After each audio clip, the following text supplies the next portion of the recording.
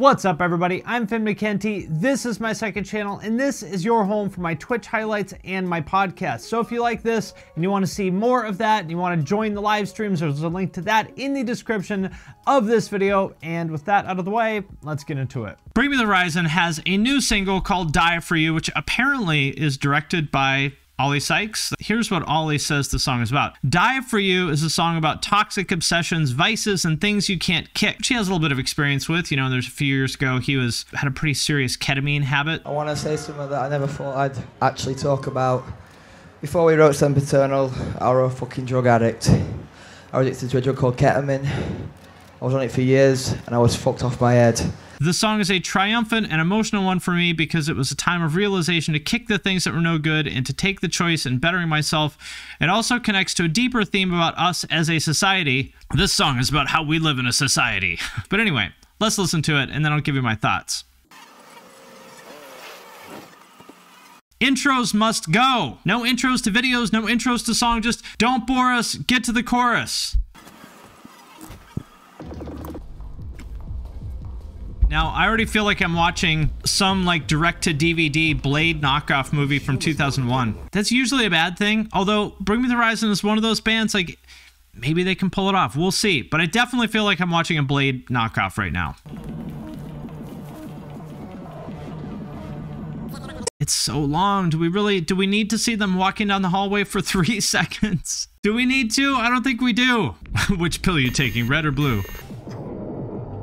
Another a mandate right now. I was just on the phone with Obama and we agreed in 2021 bands are now forbidden from using this like cyberpunk outline text kind of thing. He hasn't announced it publicly yet, but uh, on uh, tomorrow morning at 9 a.m. Eastern, he's going to come out and he's going to announce a ban on that. The other thing that Obama and I agreed to ban is the thing where it says the name of the song at the beginning, because Post Malone did that two years ago, and now every band has like a fake, you know, title sequence in their song.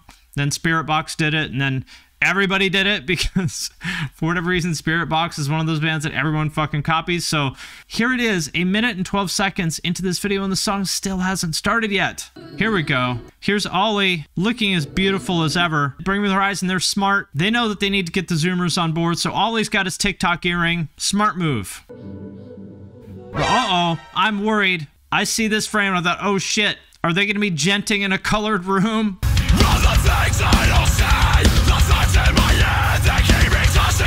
The last thing this world needs is more djenting in a colored room, so please don't do me like this, Bring Me the Horizon. Oh.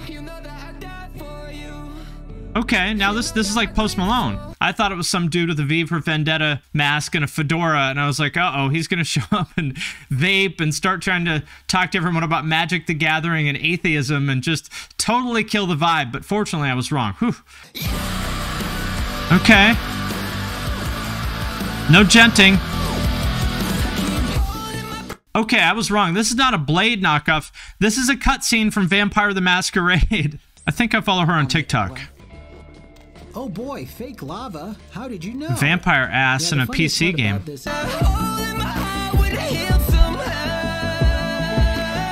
So, this is like MGK meets Post Malone meets Architects.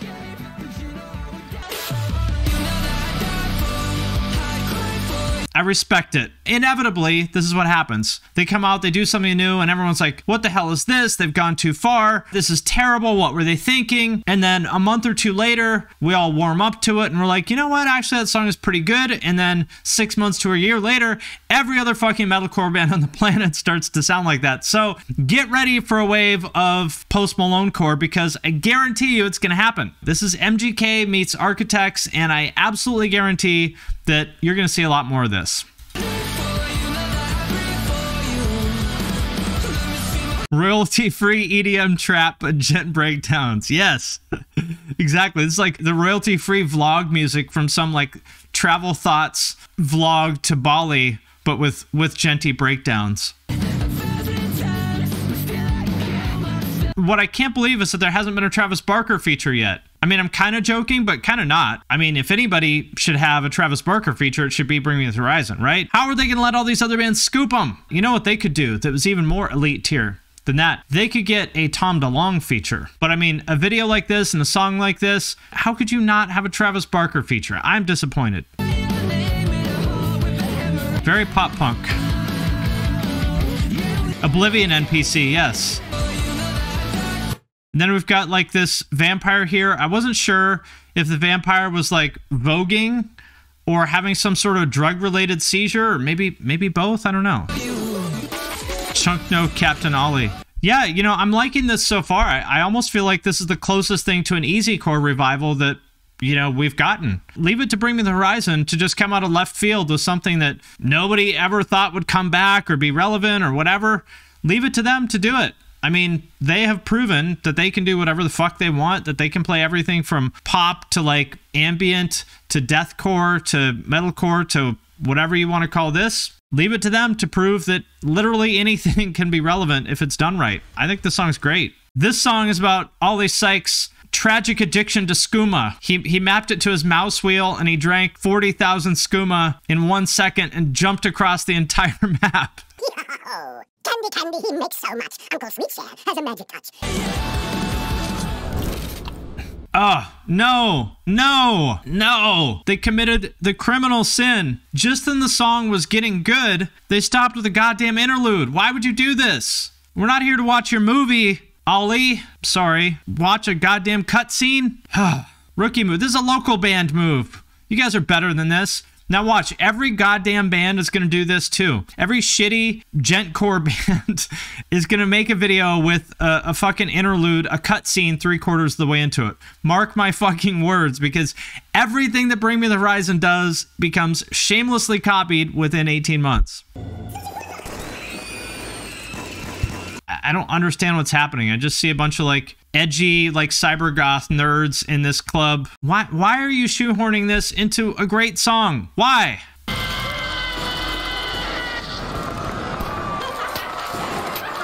200 to 1 aspect ratio. My eyes aren't wide enough aren't, aren't wide enough to see this. Remember, do you guys know who Hype Williams is? He he was the guy who did all the uh, 2000s rap videos like Big Pimpin' and stuff, and he kept getting his aspect ratios kept getting narrower and narrower and narrower. And I was expecting Hype Williams videos to just get to the point where it's just a single row of pixels because that's the most cinematic. I feel like that's something Bring Me the Horizon would do. I feel like they would put out a video that's just a single row of pixels. So cinematic.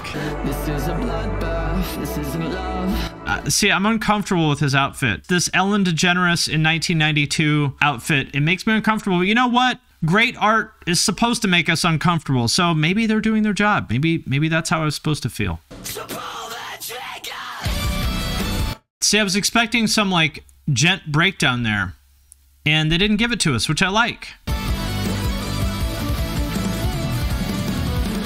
This, this chorus is, is really good. I think this is awesome. This is one of the freshest things I've heard in quite a while. I mean, obviously, this sound has been around for a while in one form or another, so it's not necessarily like we've never heard anything like this before. It's not like first heard I don't know, issues or whatever, and I was like, what the fuck is this?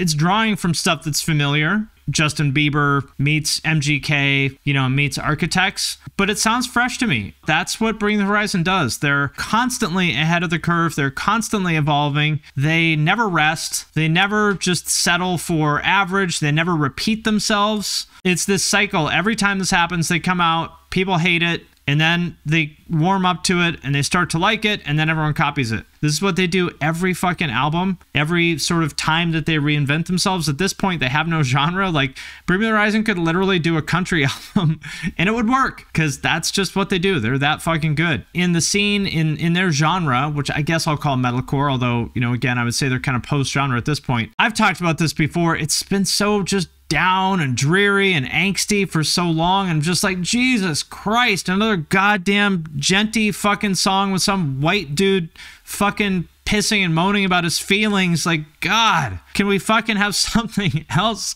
We already have that shit. Give us some new shit. It's almost like bring me the horizon's job is to show the scene that they have permission to do something different. Like everyone's like okay we're still we're still doing the thing right? And then me the horizon comes along and they're like you don't have to do the thing, guys. There's this other thing. You can do other stuff. And they they do it, and everyone's like, okay, cool, time to move on. I hope that this song is the nail in the coffin of the djent core thing. Djent is a privilege, not a right. You've abused your gent privileges, and now they've been revoked.